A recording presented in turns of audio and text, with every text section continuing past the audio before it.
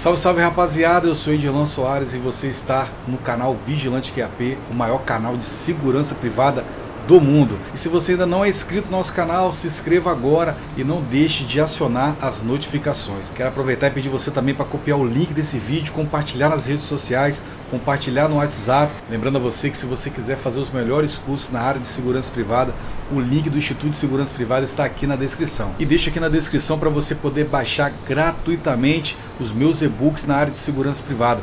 20 dicas de como ser um vigilante de sucesso e o e-book Segurança Privada Direito, com aquelas leis que todo profissional de segurança privada precisa conhecer. Então não deixe de olhar toda a descrição desse vídeo que tem muita coisa boa para você ali, beleza? Então vamos pro vídeo. Victor Paz também fez a pergunta lá no Instagram. Porteiro faz parte da área de segurança privada? Sim ou não? Claro que faz. Porteiro faz parte da segurança privada.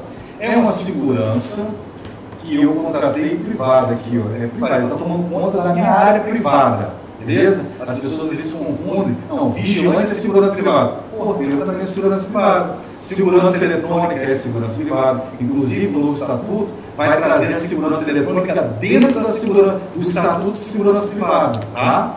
Mas, você, no geral, o porteiro é, por quê? O porteiro, ele não decide quem é que pode entrar ou não ali no seu condomínio, na sua empresa, etc., ele está deixando você entrar ou não, não é uma questão de segurança, então é segurança privada, beleza?